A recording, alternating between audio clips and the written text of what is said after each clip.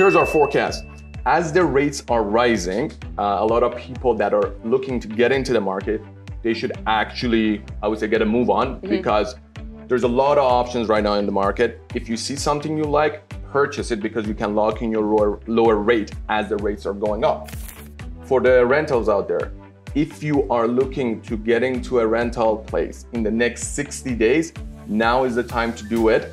So far, year to date, there has been about 20% increase in the rental rates. And we've been seeing it, we've had clients, yeah. yeah, in the last four weeks, downtown Toronto, midtown Toronto, in the condo segment especially, things have heated up to the point that there is three, four offers on a one bedroom plus and two bedroom condos, all in and around the $3,000 mark. Mm-hmm. And detached homes, the same thing. A lot of people that can get mortgages are renting properties.